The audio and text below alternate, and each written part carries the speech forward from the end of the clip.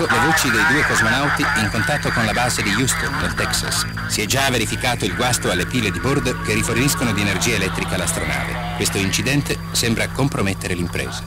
Gli astronauti dovranno forse rinunciare al loro record orbitale e rientrare prima del tempo. Il ventunesimo satellite della serie americana Explorer. Senza dubbio, una tra le voci più musicali che ci siano proveniute dallo spazio.